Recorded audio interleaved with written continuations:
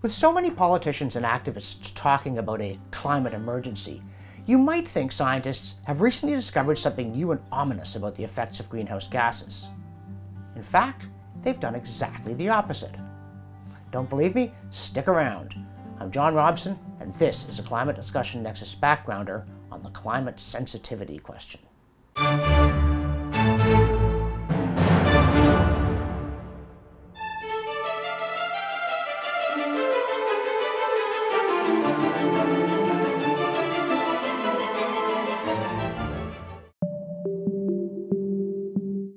Discussion about climate change ultimately comes down to one question How sensitive is the climate system to increased greenhouse gas levels? How much does adding CO2 to the atmosphere cause temperature to rise, weather to change, or anything else?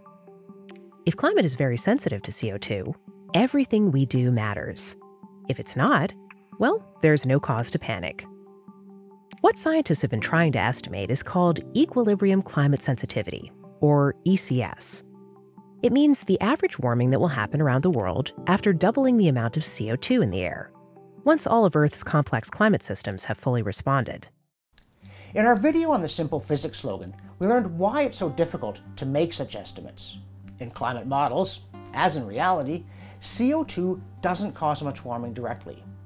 Most of the supposed effect comes through feedback from whatever warming CO2 does cause, feedback involving changes in clouds, water vapor, wind patterns, ocean currents, and so on. All of which are highly uncertain, hard to predict, and feedback on one another. So, what have scientists found, or at least tried to find?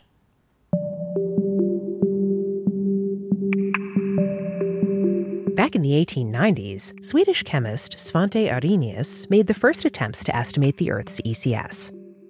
Figured it was around 5 degrees Celsius, plus or minus 1 degree.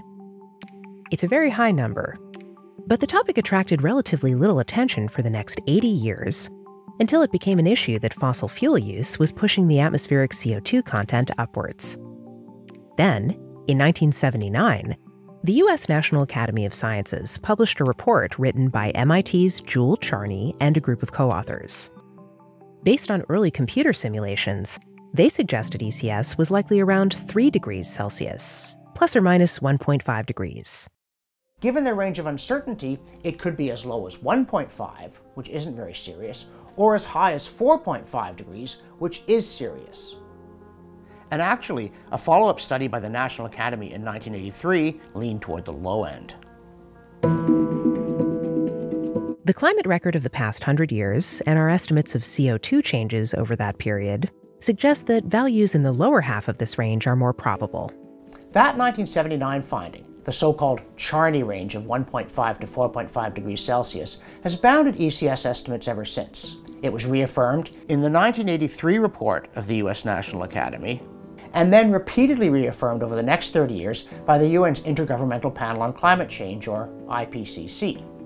The suggestion that it's near the low end hasn't exactly been the main focus, but it's right there in the report. So, what mainstream climate science actually says is that doubling atmospheric CO2 might well cause a temperature increase of around one and a half degrees, in which case the effects will be small and we shouldn't worry much. Of course, it might be on the high end, above 4.5 degrees, in which case there will be problems. But interestingly, the models also say that if climate sensitivity is high, the effects will take longer to arrive. The higher ECS turns out to be, the slower the warming. So, what it all boils down to is that according to the conventional wisdom, at least in its fine print, the bigger the problem, the more time we have to adjust. Which in turn means the idea of a climate emergency in which CO2 causes dramatic changes to happen fast is not mainstream science at all. It's unscientific, alarmist fear mongering. And that's not all.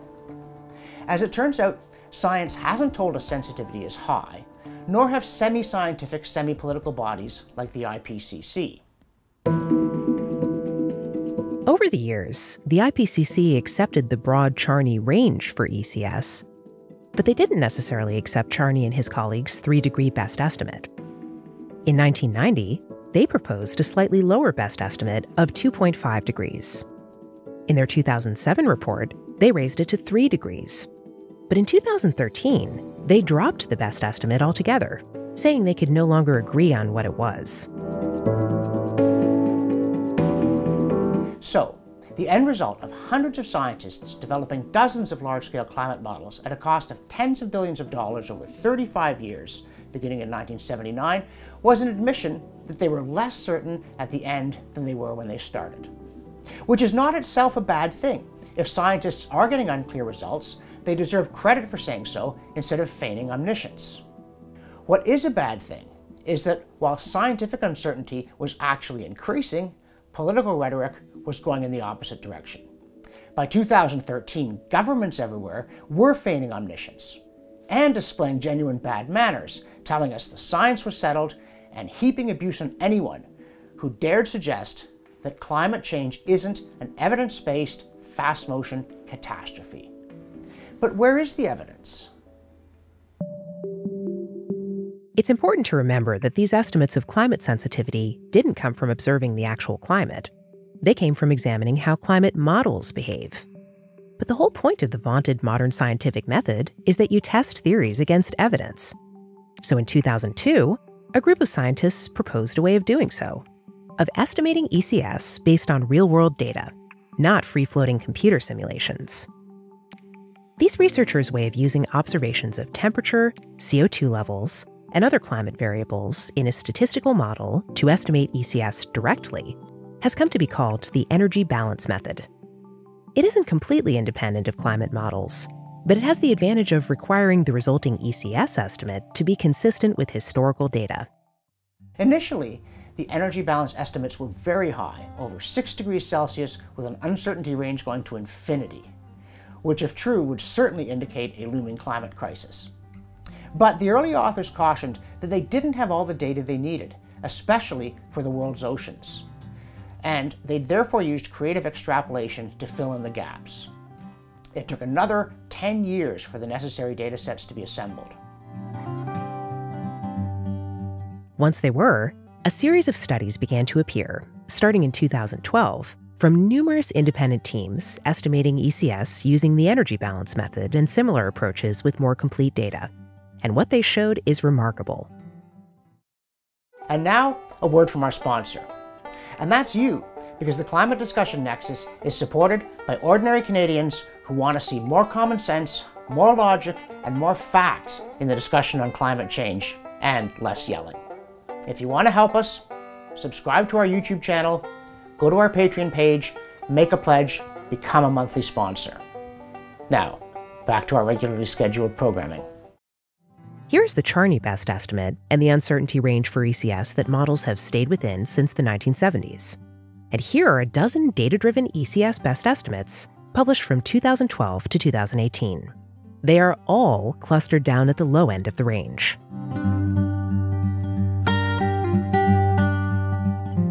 Clear implication from these newer data-driven studies is that climate sensitivity in the real world is only about half the average level in climate models.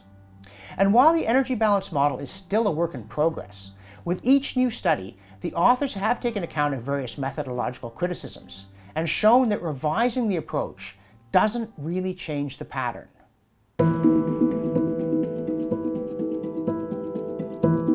This 2018 paper by Nicholas Lewis and Judith Curry, published in the American Meteorological Society's Journal of Climate, is particularly important because it applies the energy balance method to the IPCC's own data sets, while taking account of all known criticisms of that method. And it yields one of the lowest ECS estimates to date 1.5 degrees, right at the bottom of the Charney range. Looks like the National Academy's conjecture in 1983 was right. ECS values in the bottom half of the range are more probable. Another important line of evidence for low sensitivity has emerged from the study of the atmosphere over the tropics. Climate models predict that this is the region where we should see the strongest effects of CO2. Yet there's been very little warming there since records began in the late 1950s. A study published in 2017 examined 40 years of data from weather satellites, and once again concluded that historical warming is consistent with a climate sensitivity only about half as big as the climate model average. Back in 2007, the IPCC claimed, based on their models, that ECS was, quote, very unlikely, end quote, to be less than 1.5 degrees. But 10 years later, using the IPCC's own data, Lewis and Curry found that there's a 50% probability that ECS is below 1.5 degrees. They concluded, quote, high estimates of ECS derived from a majority of climate models are inconsistent with observed warming during the historical period, end quote. So, the next time anyone asks you whether you, quote, believe the science, end quote, tell them the real question is whether you believe the models or the evidence. You can believe one or the other, but not both because they contradict each other. Or at least, most models contradict the evidence.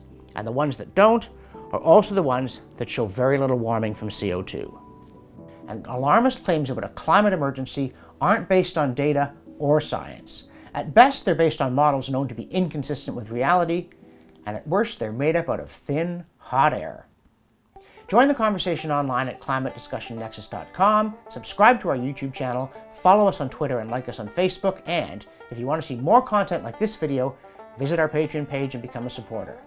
For the Climate Discussion Nexus, I'm John Robson.